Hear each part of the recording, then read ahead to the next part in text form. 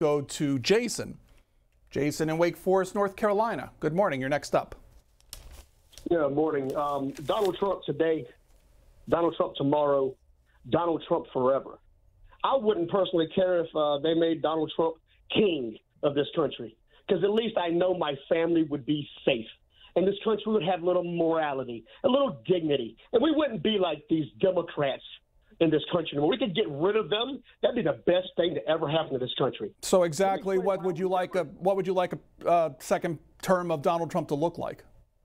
Specifically, what would I like it to look like? Mm-hmm. I would like him. To, I would like him to outlaw the Democratic Party.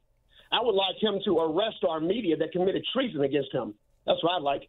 But can I tell you why I would never vote for uh, Nikki Haley? And I think you people in the media might want to worry about that a little bit because Donald Trump won't have any uh, what do you say? He won't care if y'all want to impeach him again. You understand? Or how much crap y'all want to talk about Russia, Russia, Russia. Well, your criticism of Nikki Haley, what is that? What is that? Mm-hmm. Well, for one, she took down the Confederate flag. So therefore, she stands zero chance of winning in the South.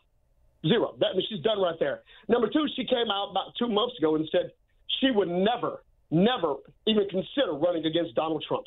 Now look at her. Trump supporters don't like turncoats. So okay. Okay. That's Jason there in uh, North Carolina. The Wall Street Journal.